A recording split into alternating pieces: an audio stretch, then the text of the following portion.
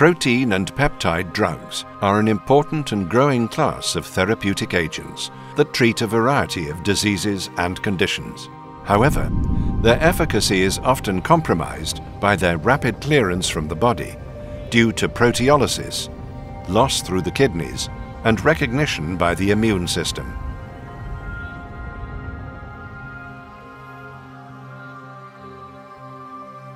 Therefore, polymers such as polysialic acid, or PSA, and polyethylene glycol, or PEG, have been conjugated to therapeutic agents to reduce clearance and improve stability. Within the body, PSA conjugated biotherapeutics are retained for longer due to reduced clearance by tissues. PSA creates a hydrophilic shield around the active molecule, protecting it against proteolysis.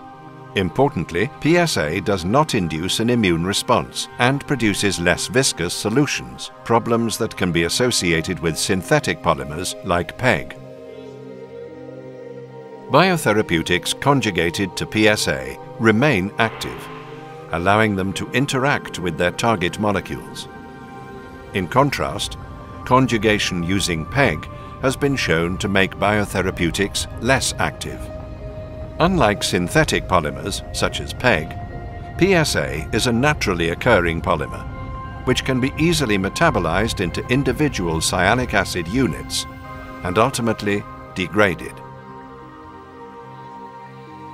Lipoxen is utilizing PSA in its clinically proven PolyXen technology to develop a new generation of biotherapeutic drugs with markedly improved pharmaceutical properties.